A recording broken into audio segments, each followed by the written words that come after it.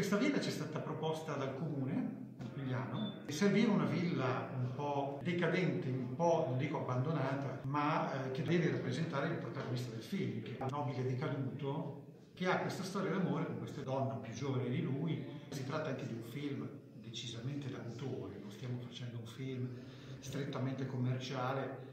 La recitazione in questo tipo di cinema deve essere veramente curata al dettaglio ci fermiamo abbastanza. In questa villa prevalentemente interni, esterni.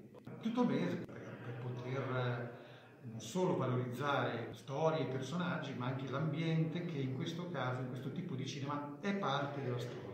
Io ho girato un po' dappertutto, in miei film, anche sono andato in Toscana, a Roma. Devo dire che la Liguria era uno di quei territori che non avevo mai sfruttato in nessun film, nonostante io abbia spesso utilizzato degli attori liguri, per esempio nel film c'è Anna Palco che, che è un'attrice ligure. Devo dire che sono affascinato dall'ambiente, bellissima, la Liguria è bellissima, io non avevo ancora capito quanto fosse cinematografica.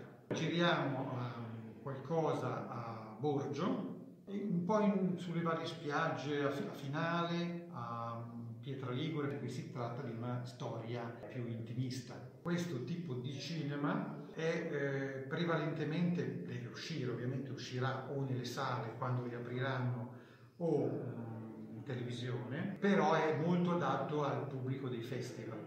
Questa villa è la residenza di questo ex senatore che si sposa con questa giovane donna, è un po' deluso dalla politica, però continua a mm, pensare al bene dei Liguri, quindi cerca di portare avanti alcune idee innovative per la Liguria. Siamo qui da una settimana ormai per la preparazione del set perché la villa era ovviamente senza mobile eccetera quindi abbiamo dovuto arredare le stanze in cui loro due si muovono e stiamo preparando tutti gli arredi, le scenografie, a parte le rifiniture eccetera manca ancora tutta l'attrezzatura, quindi a parte le cineprese eccetera, quindi gli obiettivi, ma anche i bracci, i binari, insomma tutta l'attrezzatura cinematografica necessaria.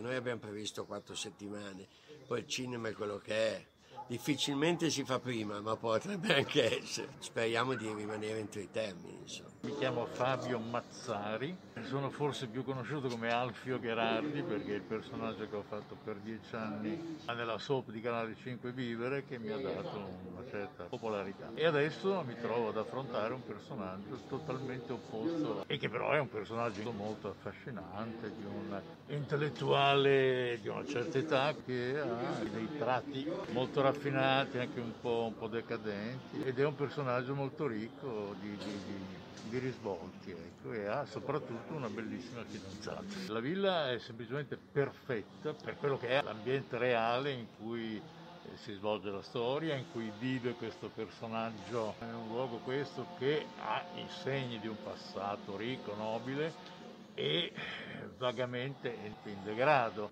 proprio bello esteticamente per quello che è la scenografia naturale che, che porta con sé.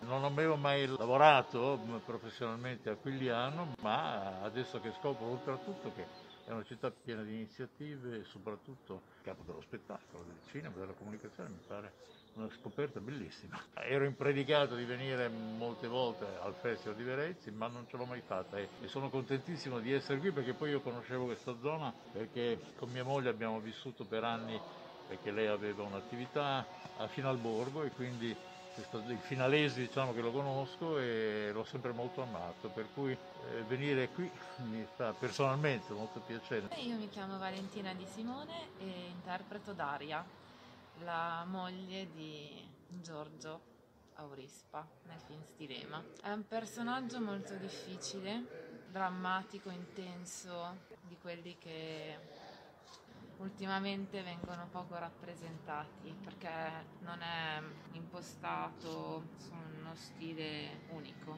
cioè non è un prototipo, è molto particolare, ha tante sfumature psicologiche, interiori, è una bella sfida. A me piacciono tantissimo queste tipologie di costruzioni, quindi per me è adorabile come gusto e poi è proprio adatta a questo film, un po' bello ma un po' decadente, ecco come stile.